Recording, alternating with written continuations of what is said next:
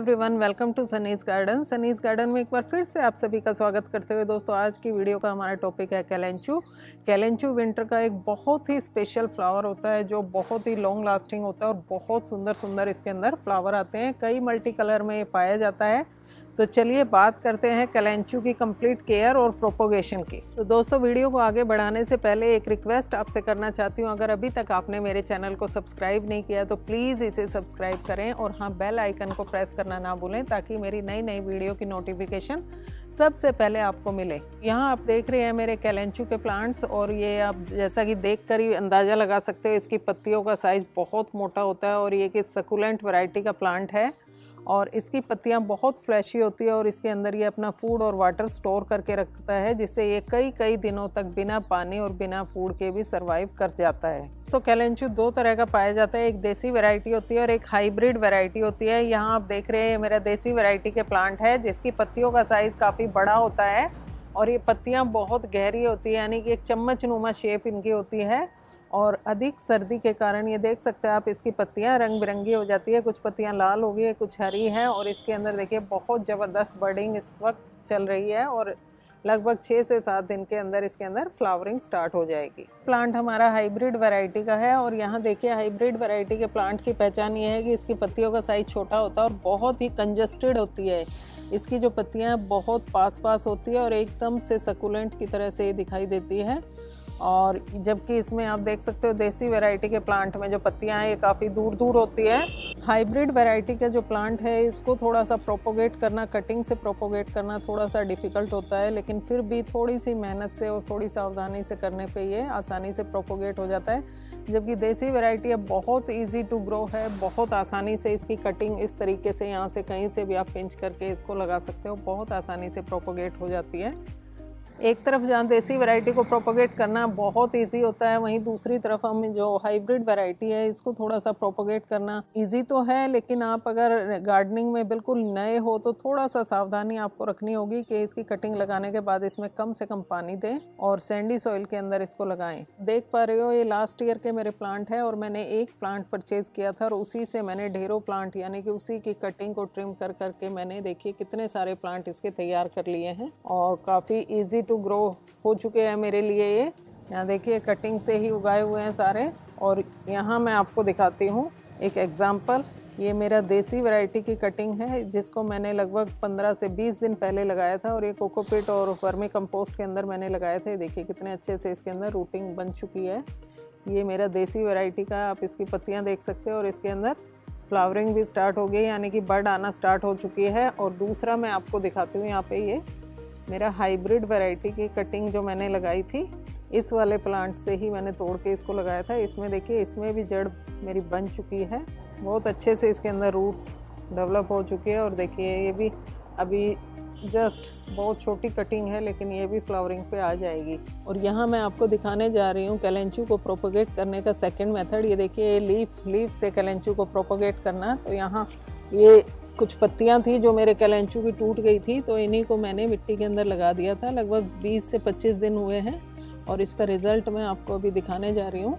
ये देखिए, इसके अंदर रूट डेवलप हो चुकी हैं और बहुत ही शानदार। इसको अगर हम थोड़ा सा अब सेपरेट कर देंगे, यानी कि ट्रांसप्लांट कर देंगे तो बहुत जल्दी इसके अंदर से एक प्लांट हमारा तैयार हो जाएगा।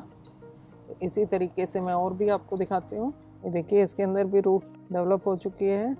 यहाँ भी आप देख सकते हो रूटिंग इसके अंदर छोटी छोटी स्मॉल स्मॉल रूट डेवलप हो रही है। लगभग 20 से 25 दिन के अंदर ये रूट इसकी डेवलप हो जाती है और उसके बाद इसको हम ट्रांसप्लांट कर सकते हैं। तो ये देखिए, कोई हमें कटिंग भी नहीं चाहिए। अगर हमारे प्लांट्स की जो पत्तियाँ टूट टूट के गिरती हैं, उन्हीं को हम मिट्टी के अंदर लगा दें तो बहुत ईजी हम अपने प्लांट्स को मल्टीप्लाई कर सकते हैं। अब बात करते हैं कैलेंचू प्लांट की सनलाइट रिक्वायरमेंट की। दोस्तों, इसको तीन से चार घंटे की धूप जो होती है इनफ होती है, इससे ज़्यादा इसको धूप में नहीं रखना है।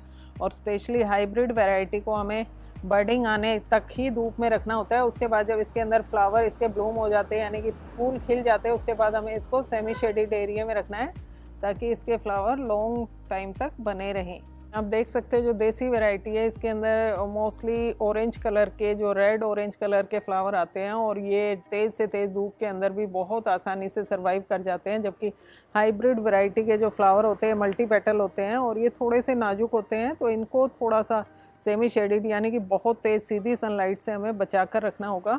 हमारे कुछ फ्रेंड्स की ये शिकायत होती है कि उनका कैलेंचू का प्लांट ग्रोथ तो बहुत अच्छी कर रहा है, लेकिन उसके अंदर ना तो बर्डिंग आ रही है और ना ही फ्लावर आ रहे हैं। तो इस शिकायत को दूर करने के लिए हमें उसको किसी ऐसी जगह पे प्लेस करना है, जहाँ पे उसको अंधेरा मिले, यानी कि डार्कनेस हो।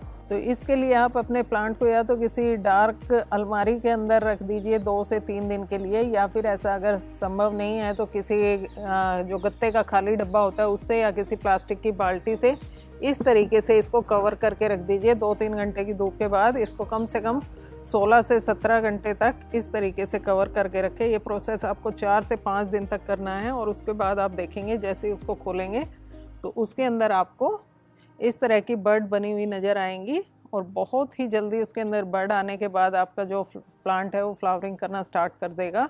तो अब बात करते हैं कैलेंचू प्लांट को लगाने के लिए मिट्टी और पोट के साइज़ की। तो दोस्तों, जो कैलेंचू प्लांट होता है, इसकी रूट बहुत शैलो होती है, बहुत छोटी होती है तो इसको लगाने के लिए बहुत गहरे पोट का हमें आवश्यकता नहीं होती। लगभग छः से आठ इंची के पोट में बहुत आसानी से सर्वाइव कर जाता है। और अब बात, कैलेंचू प्लांट को हमेशा थोड़ा सा जो वेल ड्रेन सॉइल के अंदर ही इसे लगाना होता है। इसके अंदर 40 परसेंट सैंड लेनी है 20 परसेंट गार्डन सॉइल और 40 परसेंट हम इसके अंदर कंपोस्ट ऐड करेंगे और बहुत ही इजी टू ग्रो प्लांट है। ये इसको अच्छी सी वेल सॉइल मिल जाए, अच्छी कंपोस्ट तो बहुत अच्छे से फ्लावरिंग करता है ये प्लांट अब बात करते हैं इसकी पानी की रिक्वायरमेंट की। दोस्तों, जैसा कि आप जानते हैं कि कलेंचू एक सकुलेंट वैरायटी का प्लांट है तो इसको बहुत ज़्यादा पानी की आवश्यकता नहीं होती। तो पानी इसमें जब दीजिए, जब इसकी ऊपर की सोई लगभग एक इंच तक ड्राई हो जाए, उस वक्त इसको पानी देना है। उससे ज़्यादा पानी इसके अंदर हम, अगर हम भरेंगे तो प्लांट जो है हमारा रूट रोट हो जाएगा, यानी कि इसका तना गल जाएगा और जड़ें इसकी सड़ जाएगी।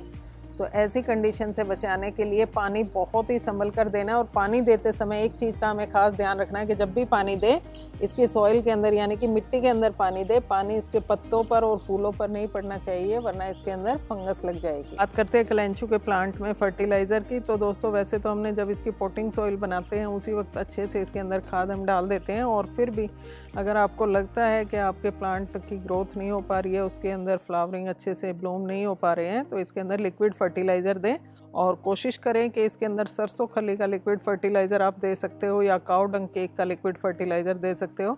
और फर्टिलाइज़र देते समय एक चीज़ का हमें ध्यान रखना है कि फर्टिलाइज़र सिर्फ़ हमें इसकी सॉइल के अंदर देना है, इसके पत्तों पर या फूलों के ऊपर फर्टिलाइज़र नहीं डालना है, वरना प्लांट हमारा फंगस के कारण मर भी सकता है।